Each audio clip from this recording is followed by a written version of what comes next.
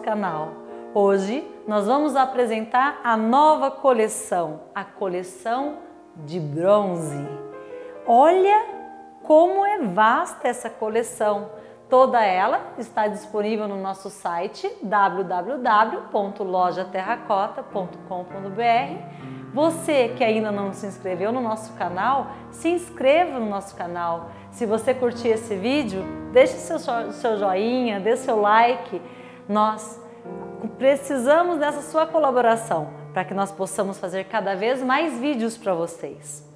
A coleção de bronze, ela tem um mistério.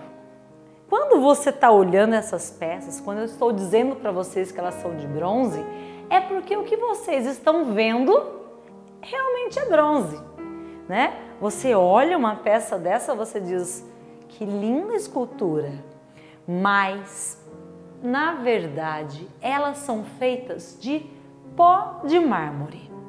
O acabamento dela é bronze.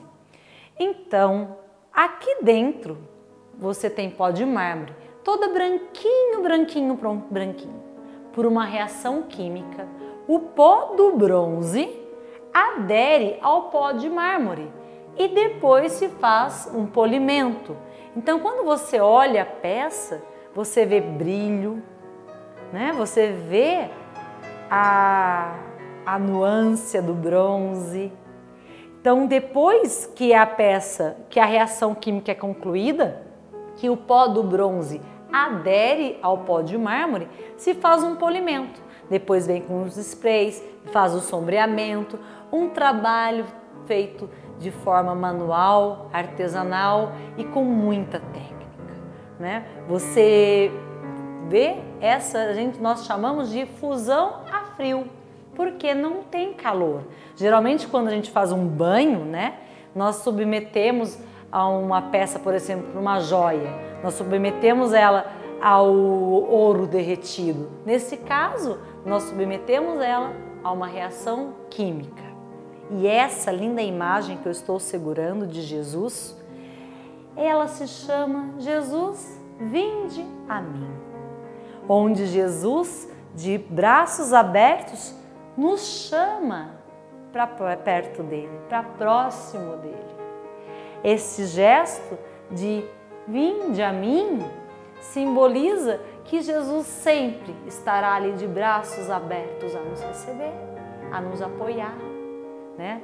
Nosso Jesus que chama, né, o seu rebanho para próximo deles. Nós, rebanho de Cristo, nós estamos ali sempre esperando, né? Sempre nos movendo ao sentido de Cristo a nos aproximarmos de Cristo. Dentro dessa imagem, dessas posições de Jesus, né, abre seus braços para que nós possamos ir ao seu encontro, nós temos o Sagrado Coração de Jesus. O Sagrado Coração de Jesus de braços abertos, que demonstra que o coração de Jesus está aberto a nós a nós pecadores, que ao encontro de Jesus podemos achar o, né, o conforto, né, a, o envolvimento, o aconchego do seu amor por nós. Esse Sagrado Coração de Jesus, de braços abertos, é, vim, né, nos chamamos, assim como também nós temos a escultura do Sagrado Coração de Jesus, que Ele abençoa, né? nesse gesto que simboliza a Santíssima Trindade, que Deus é Pai, é Filho e é Espírito Santo. Ele mostra o coração para nós. Ele mostra o coração humilde, manso, o seu sagrado coração, o símbolo da humildade, da compaixão, do amor ao próximo. Né? Jesus né, humildemente mostra o coração para nós. Né? É Jesus, né, que é Deus Filho, Jesus que é o exemplo para nós, toda né, a nossa igreja é construída em cima dos ensinamentos de Jesus. Ensinamentos esse que deve ser né, rotina para nós. escutar a palavra de Jesus e as colocá-las em prática. Não é isso que Deus nos pede? Porque aqui nessa escultura nós temos a assunção de Cristo. Quando Cristo assunta ao céu. Deus subiu aos céus, sentou-se à direita de Deus Pai Todo-Poderoso, não é? E essa escultura representa a assunção de Jesus ao céu. Olha a imagem como ele se entrega ao Pai. Já cumpriu a sua missão, né? Cristo vivo, ressuscitado, né? Subiu aos céus. Essa coleção, nossas imagens de Jesus, cada uma com sua representatividade. Aí nós vamos para a mãe, né? Nossa Senhora, Nossa Senhora que acolhe Jesus em seu colo, ela mostra o seu filho para o mundo, para nós, né? E Jesus que o olhar de admiração para sua mãe e a mãozinha aqui, a confiança, né? Olha a admiração que Jesus olha para Nossa Senhora nessa escultura. E Nossa Senhora mostra Jesus para nós. Daí, Nossa Senhora, né? Com certeza ali no seu cotidiano, né?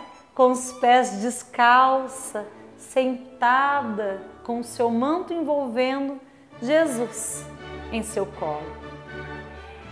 Quando eu olho essa imagem, eu fico imaginando, sabe aquele banho de sol que a gente dá com o nosso bebê, né? O banho de sol, Nossa Senhora ali sentada, serena, com Jesus no colo, pés descalços, na sua rotina de mãe, de mulher, né? Colocando o seu filho ali, debaixo do sol, para aquecer sua alma, seu coração.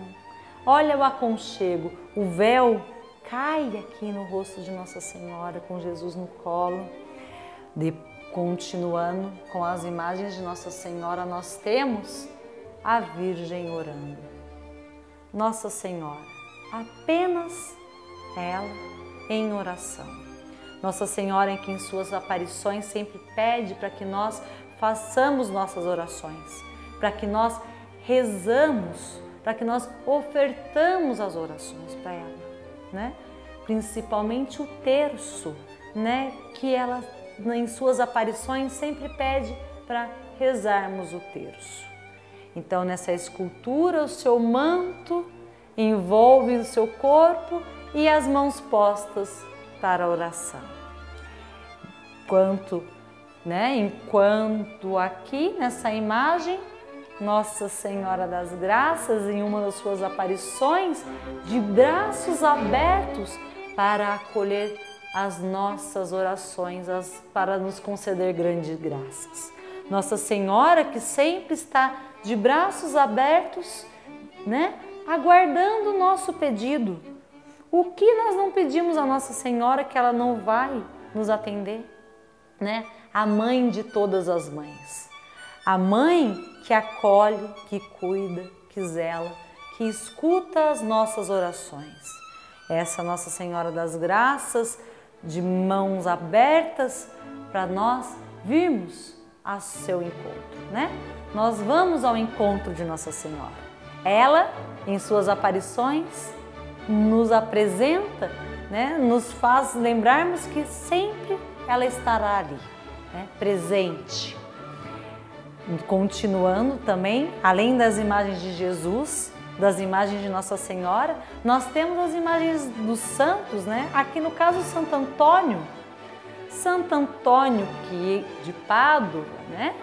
Santo Antônio que era um irmão franciscano, né? a convite de São Francisco de Assis, ele foi, né? Para Pádua evangelizar aquela região da Itália né? São Santo Antônio que tinha o dom da palavra. Né? Santo Antônio, conhecido como santo casamenteiro, também é um santo protetor do casamento. Olha, para quem não sabe, Santo Antônio é o protetor do casamento, né? E Santo Antônio tem o tom dom da palavra. Santo Antônio, irmão franciscano, qual o primeiro nome, né, o seu nome de batismo era Fernando, né? E na ordem franciscana, Antônio. E falando de São Francisco, o São Francisco direciona o seu olhar para a pomba, para os animais. São Francisco que tratava todos, né? Os animais como seus amigos. Protetor dos animais, São Francisco, ele deixou uma marca de amor, uma oração de fé, uma, uma mensagem de que só o amor tem um verdadeiro sentido nessa vida. Porque se você ama, se você coloca amor em tudo que você faz, você vai fazer para Deus. Vai seguir os ensinamentos de Jesus, que é puro amor, que é o verdadeiro amor. Né? São Francisco, ele tem uma jornada né, de amor. Por onde ele passou, ele falou sobre o amor. E São Lucas, protetor do médico, dos médicos e também dos pintores. São Lucas, que foi o primeiro a pintar o rosto, né? a face de Nossa Senhora. Por isso, ele é o protetor dos pintores e protetor dos médicos, porque São Lucas era médico. E como evangelista, o seu símbolo é o touro alado. Olha essa imagem, como tem todos esse simbolismo de São Lucas. A pintura em suas mãos em seus pés o touro alado, o símbolo do evangelista. E São Lucas também, protetor dos médicos. Aqui depois nós temos a protetora dos músicos, Santa Cecília. Santa Cecília é a protetora dos músicos. Né?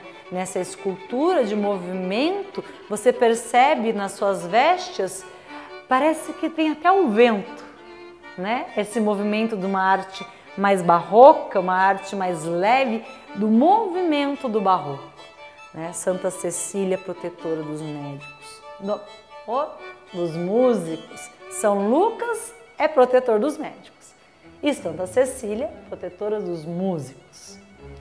Temos na nossa coleção a Nossa Senhora de Guadalupe, nossa Senhora de Guadalupe, né, que é a padroeira do México, também uma aparição de Nossa Senhora.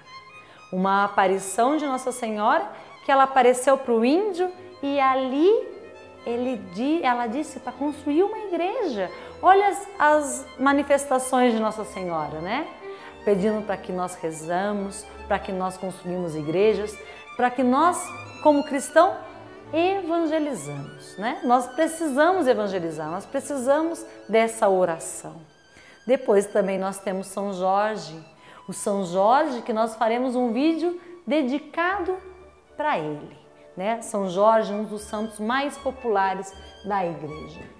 Então, São Jorge também, nós teremos um vídeo aqui no nosso canal de YouTube para falarmos de São Jorge. Então, para vocês, né, que nos segue nesse canal, compartilhe esse vídeo, nos ajude para nós conseguirmos mais inscritos, né? Se você gostou desse vídeo, deixe, deixe seu like e nos acompanhe também no nosso Instagram, né? No nosso Instagram que é Terracota Arte Sacra, também aqui no nosso canal no YouTube e no nosso site. Toda essa coleção está disponível para vocês no www.lojaterracota.com.br. Até o próximo encontro.